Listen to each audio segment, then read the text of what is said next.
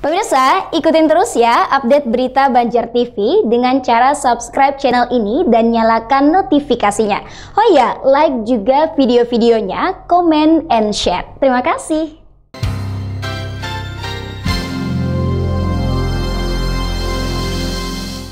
Informasi lainnya menjelang Hari Raya Idul Fitri tahun ini, kiriman barang ekspedisi turun drastis hingga mencapai 80% akibat pandemi wabah COVID-19. Direktur Utama PT Lintas Jawa Group Saud Nathan Samosir, Senin 18 Mei lalu dalam keterangannya di Banjarmasin menjelaskan akibat pandemi wabah COVID-19 yang melanda saat ini ternyata berdampak terhadap pengiriman barang jasa ekspedisi yang turun drastis hingga mencapai 80 persen. Biasanya dengan kondisi yang sama jelang lebaran, tanpa adanya wabah COVID-19, dalam sehari rata-rata di atas lima truk fuso barang masuk ke Banjarmasin. Akan tetapi dengan kondisi sekarang ini dalam dua hari paling tiga truk fuso yang masuk ke Banjarmasin.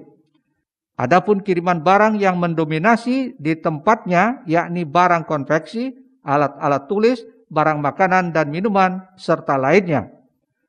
Semestinya dengan adanya Ramadan dan Hari Raya Idul Fitri serta tahun ajaran baru, barang yang masuk mencapai dua kali lipat.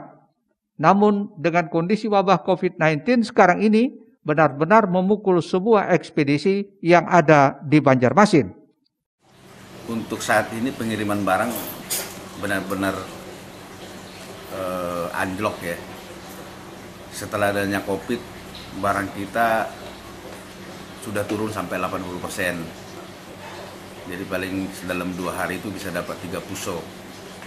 Yang biasanya kita kan kalau musim lebaran begini kan musim apa eh, Ramadan ini bisa di atas lima per, per hari. Nah, dengan adanya pembatasan lagi PSBB kedua, eh, pasar dibuka secara terbatas. Ini akan menambah rentetan panjang untuk apa bahwa para pedagang itu akan tidak bisa berbelanja.